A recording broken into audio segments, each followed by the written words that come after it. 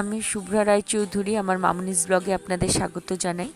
আজ আমার ছেলের জন্মদিনের কেক কাটিংয়ের ভিডিওটা আমি নিয়ে এসেছি। তো এখন কেক কাটিং শুরু হবে, ও বসেছে। বেলুন দিয়ে সাজানো হয়েছে। ছোট করেই জন্মদিন পালন করা হয়েছে। তো আপনারা সবাই ওকে আশীর্বাদ করুন, ও যেন বড় হয়, ভালো মানুষের মতো মানুষ হয়।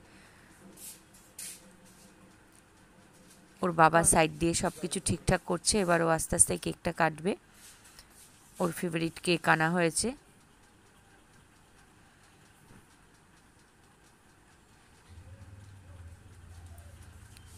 কেক কাটার জন্য প্রস্তুত নিচ্ছে।